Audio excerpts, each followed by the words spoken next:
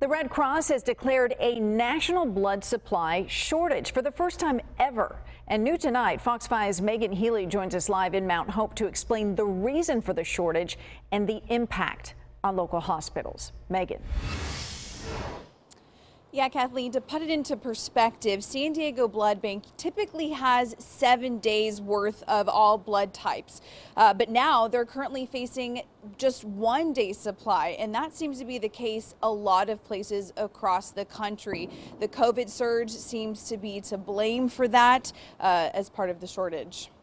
We need every single type right now. For the first time in a decade, blood supplies are critically low. As of today, we're at about a one day supply or less in most types when we like to keep a seven day supply on the shelf. According to the American Red Cross, 25% of hospital blood supply needs are not being met. The chief medical officer at Scripps Health says it's overwhelming. Just uh, two days ago, we had two patients that needed massive blood transfusions, and we frankly didn't have enough. We had to start calling around to regional hospitals to say, please, can we have some blood so we can resuscitate these two patients? And at the same time, we had a heart patient who needed a blood transfusion. No longer armed with enough blood supplies, hospitals are fighting to continue operating and treating patients. We have to fix this. This is something, as an emergency medicine doctor, we're always taught resuscitation. It's that golden hour after a trauma. And if we don't have the blood to do that, lives will be lost. While this time of year is slow for donations, the Omicron surge is playing a role in the national shortage. We have individuals that are canceling their donation appointments because they're sick. Um, we have a lot of mobile drives that are canceling as well. And so that's just, it's the perfect storm. They are putting out a call for help, asking anyone to give a pint. My dad was a Marine and he um, gave blood.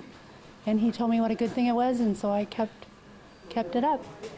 It doesn't hurt, and it's only about five, five, seven minutes.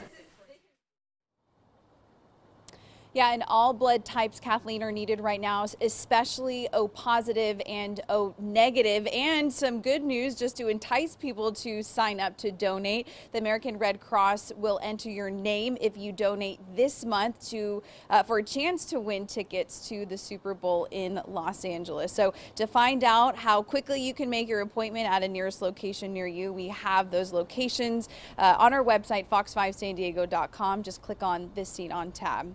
We're Reporting live in Mount Hope, Megan Healy, Fox 5 News. All right, a big prize being offered for uh, a big need. Megan, let's clear some things up here when it comes to the Omicron surge itself. When is it okay for people to go and give blood if they recently had COVID?